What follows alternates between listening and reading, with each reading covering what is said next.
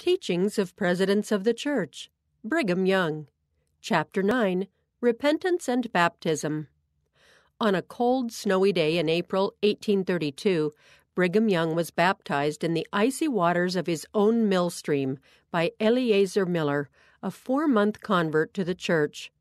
Of this he said, I felt a humble childlike spirit witnessing unto me that my sins were forgiven. Manuscript History of Brigham Young, 1801 to 1844, pages 2 and 3. He taught that water itself does not have any virtue to wash away sin. Discourses of Brigham Young, page 159.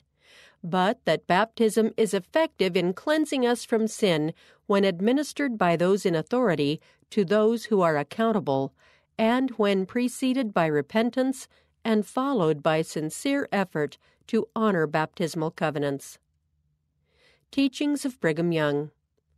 As our understanding increases, so do our accountability and responsibility. Sin consists in doing wrong when we know and can do better, and it will be punished with a just retribution in the due time of the Lord. Discourses of Brigham Young, page 156. Though we may do the best we know how at this time, can there be no improvement made in our lives? There can.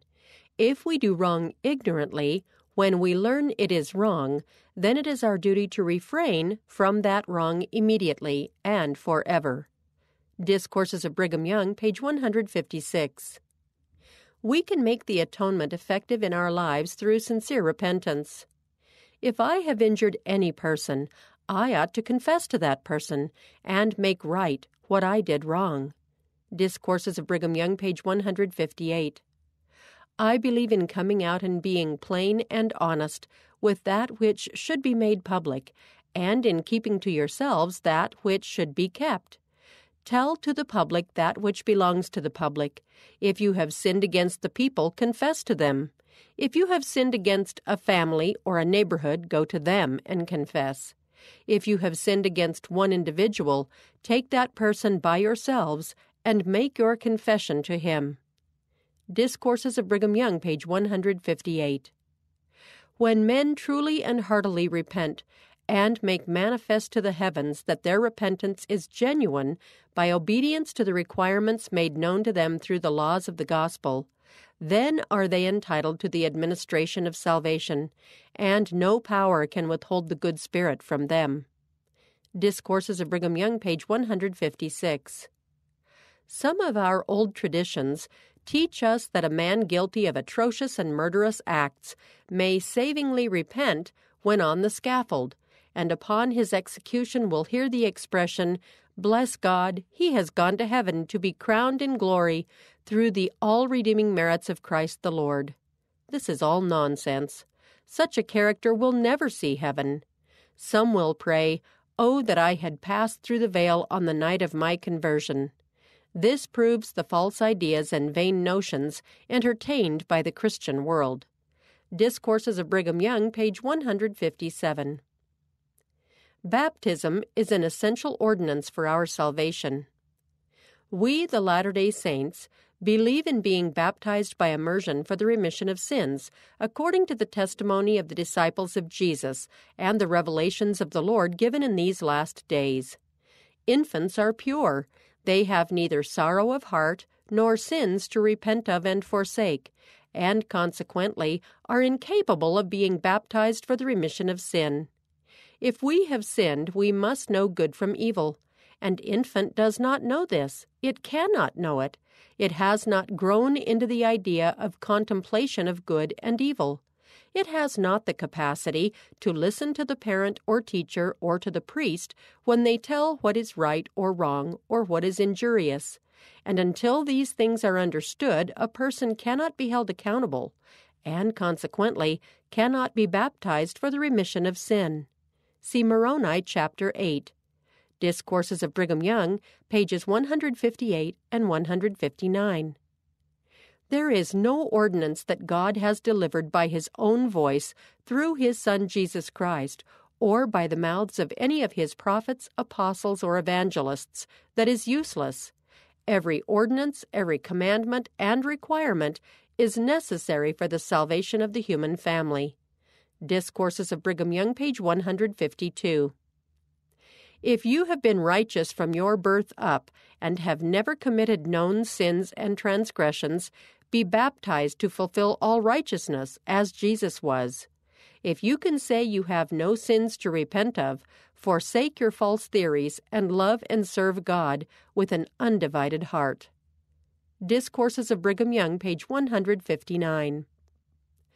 All Latter day Saints enter the new and everlasting covenant when they enter this church. They covenant to cease sustaining, upholding, and cherishing the kingdom of the devil and the kingdoms of this world.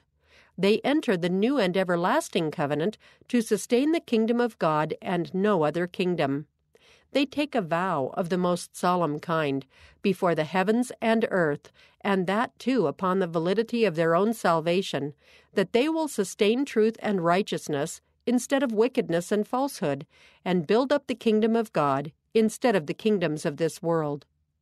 Discourses of Brigham Young, page 160. However much we may profess attachment to God and His cause, we are not entitled to the blessings and privileges of His kingdom until we become citizens therein. How can we do this? By repenting of our sins and obeying the requirements of the gospel of the Son of God, which has been delivered to us. Hundreds and thousands of people have believed on the Lord Jesus Christ and repented of their sins, and have had the Holy Spirit to witness unto them that God is love, that they loved Him, and that He loved them, and yet they are not in his kingdom. They have not complied with the necessary requirements. They have not entered in at the door. Discourses of Brigham Young, pages 152 and 153.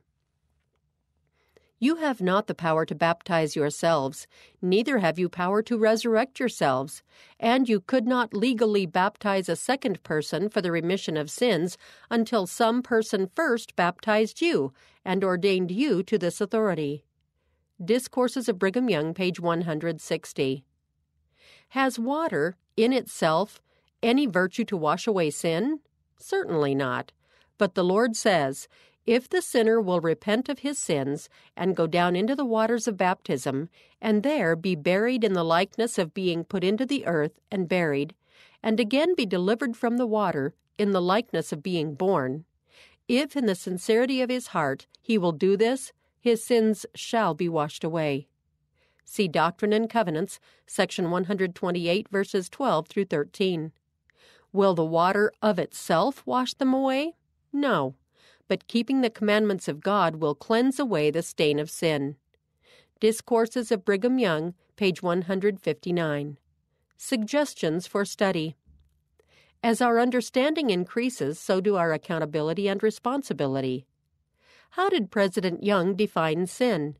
See also James chapter 4 verse 17. What did President Young teach about our responsibility as we increase in knowledge of right and wrong? See also 2 Nephi chapter 9, verses 25 through 27. What should be our attitude about improving our lives? See also Alma chapter 34, verse 33. What does this teach us about knowledge, accountability, and responsibility? We can make the atonement effective in our lives through sincere repentance. What is the consequence of true repentance? Why is obedience to the laws of the gospel a necessary part of repentance? What did President Young teach about deathbed repentance? Baptism is an essential ordinance for our salvation. What part does baptism play in coming unto Christ? See also Moroni chapter 8 verses 25 and 26. What did President Young teach about who should and should not be baptized? Why is it inappropriate to baptize those who are not accountable?